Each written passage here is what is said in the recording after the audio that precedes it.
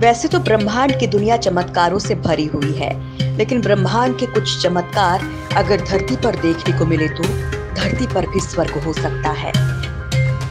कुछ ऐसा ही चमत्कार इस धरती के सूर्य की वजह से हुआ है, जो कभी अस्त नहीं होता, जिसकी रोशनी सूर्य की रोशनी से जरा भी कम नहीं है। इस चमकीले धरती के सूर्य का नाम सोलर एग है। इसे डिज़ाइन किया है हेड्रो ब्रिकेट और ब्रक्सट्रोम ने इसकी खोज वैज्ञानिकों के लिए बहुत बड़ी उपलब्धि है। इसे फ़िलहाल स्वीडन के त्रिपोल पर रखा गया है। इसके रखे जाने से एक जगह, एक टूरिस्ट प्लेस की तरह बन चुकी है। इसके अंदर का तापमान 75 से 80 डिग्री के बीच रहता है।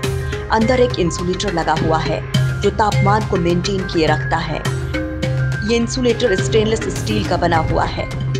इस सोलर एग की कोटिंग टाइटेनियम गोल्ड से की गई है। अपने पहले प्रोजेक्ट के दौरान वैज्ञानिक रेक्स बाइगन ने इसका प्रस्ताव सामने रखा था। जब इसे धरती पर उतारा गया, किसी को भी यकीन नहीं हुआ।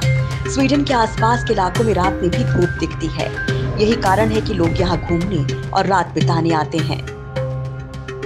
इनकी तस्वीरें कितनी खूबसूरत हैं कि आँखें चकाचौंध हो जाएँ।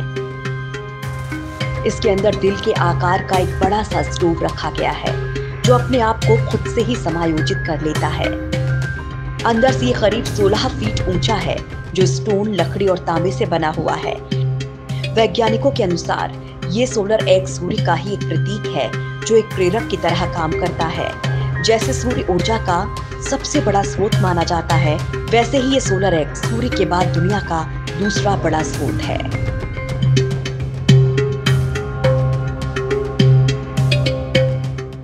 टीम इंडिलिंग्स